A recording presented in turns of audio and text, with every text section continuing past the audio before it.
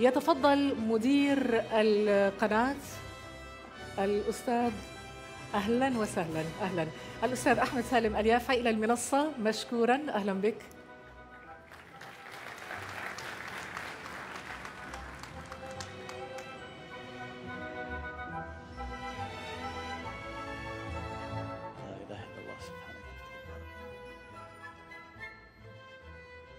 سعادة الشيخ حمد بن ثامر الثاني رئيس مجلس إدارة شبكة الجزيرة الإعلامية.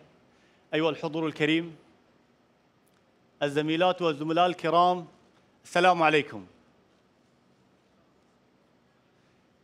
نلتقي الليلة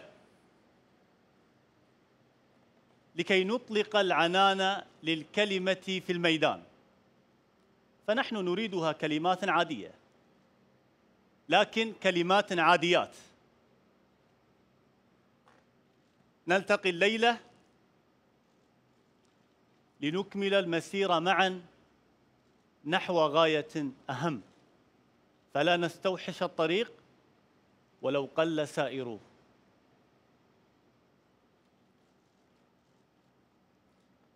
نلتقي الليلة وقد أصبح مداد الحقيقة أكثر وضوحا.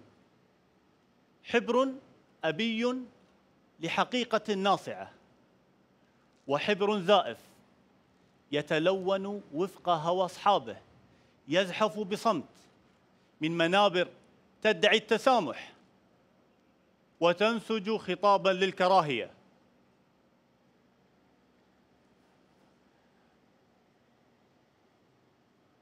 قد تداعى القوم على الكلمة حتى أدماها الأسى استهدفوا الصحفيين. سجنا أو قتلا وتقطيعا. وصل عدد الصحفيين القتلى إلى أعلى مستوى له في ثلاث سنوات.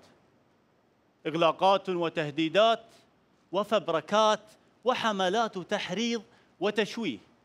قام بها من حاصرتهم الكلمة الحرة. نظموا جيوشا لكن من ذباب. سلحوها بأرباع الحقائق. وأنصاف الخداع وكل الكراهية حرضوا على إغلاق قناة الجزيرة لكنهم فشلوا. حرضوا على قصف قناة الجزيرة لعلهم يرتاحون من صوتها لكنهم فشلوا. قالها المهاتما غاندي ذات مرة في غمرة الكذب تستمر الحقيقة. وفي غمرة الظلام يستمر النور.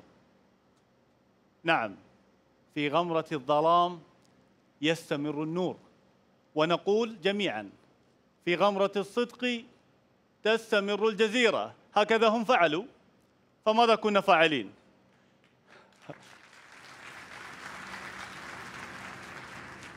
الجزيرة فتحت أبوابا جديدة في عقول وقلوب الملايين.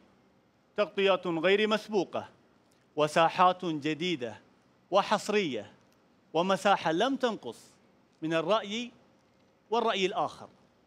نقلنا قصص ضحايا مسجد النور في كرايست تشيرش وكنا مع كنداكا حبوبة آلاء صلاح أيقونة الثورة السودانية.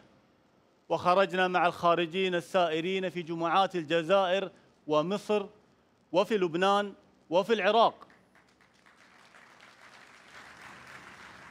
ونقلنا التصعيد الحاصل على ضفتي الخليج وفي بقيق وخريص وحقل الشيبة.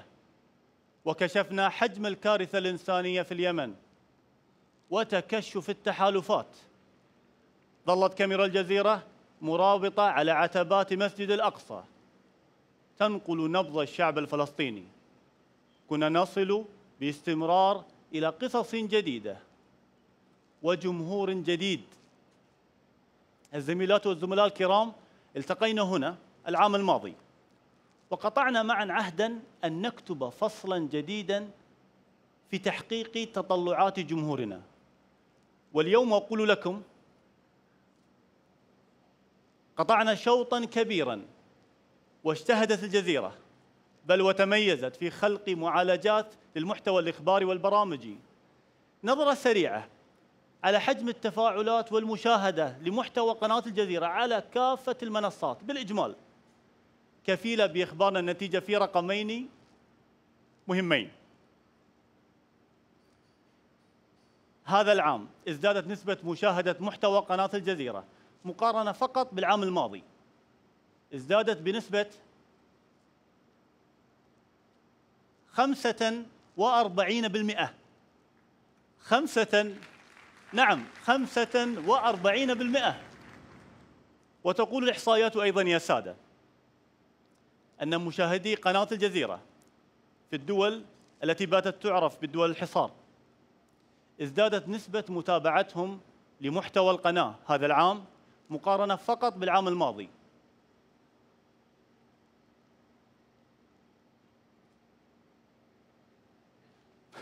مئة وعشرين بالمئة.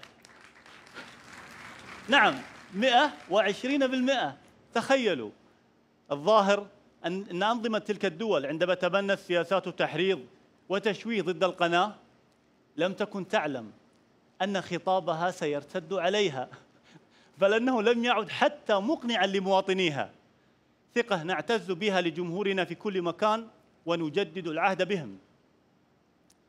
سعادة رئيس مجلس الإدارة الحفل الكريم نعم ظلت الكلمة تواجه بالقوة. ونحن نواجه ظلام السلطات الكارهة لحرية الكلمة. علينا أن نوقد سراج الكلمة بالمعرفة. وامتلاك المعرفة لم يعد الآن القوة بعينه. بل الوصول إليه وإلى تطبيقاته هي القوة بذاتها. اليوم يقف أمامنا تحد كبير في بناء هذه المعرفة.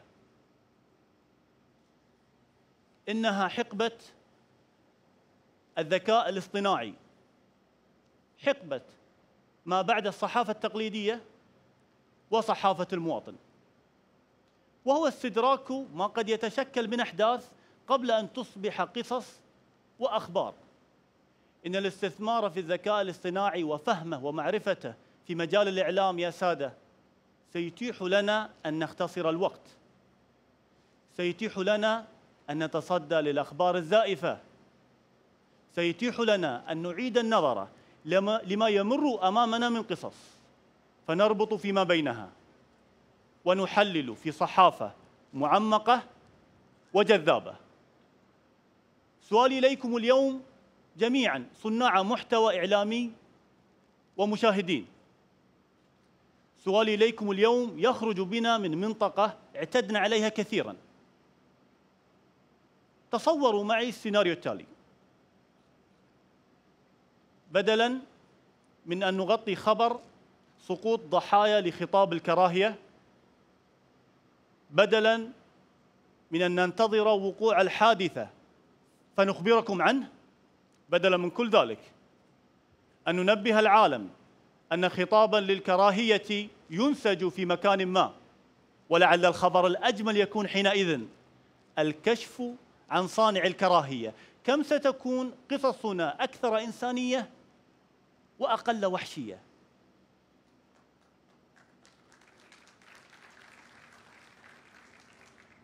الزميلات والزملاء الكرام هذه فرصتنا اليوم جميعا. أن يلحقنا الآخرون في في رحلتنا إلى المستقبل. ولا ننتظر اللحاق بالركب. هذه فرصتنا اليوم جميعا أن نبني جسرا ينقلنا من غرف الأخبار الحالية إلى غرف أخبار ذات واقع جديد تستخدم فيها أدوات المستقبل. هذه فرصتنا اليوم جميعا أن نروي قصص الناس الذين آمنوا برسالة الجزيرة. ولا نخذلهم ونتركهم بمشاريع وهمية خادعة ليس للإنسان فيها قيمة. هذه فرصتنا اليوم جميعا أن نبني مشروعنا على إرث عظيم. ولا نسمح لأحد أن يطفئ النور الذي أوقدته الجزيرة في لحظة تاريخية من مراحل تحول الإعلام. ففي واقعنا الحالي الجزيرة لم تعد خيارا. الجزيرة ضرورة حضارية تلهم الإنسان أن يرى العالم بعينيه لا بعيون الآخرين. هذه هي الجزيرة. وهذه دعوتي لكم جميعا أن نكمل المسيرة معا نحو المستقبل. والسلام عليكم ورحمة الله.